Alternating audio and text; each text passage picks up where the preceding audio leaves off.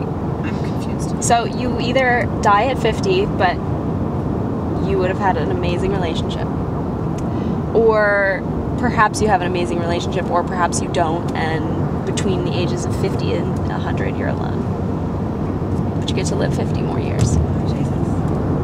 But that gets into like what, are, like what I think is accomplishment, you know.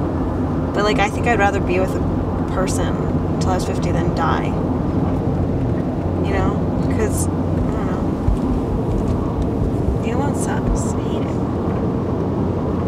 I mean, you'd get to experience so much more. Yeah, for what?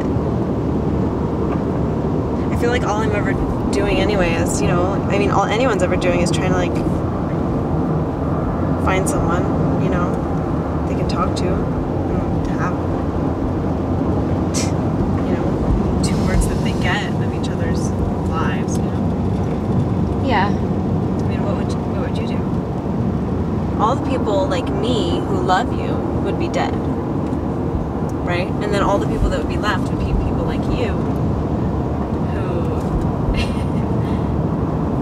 I don't know, fight to stay alive.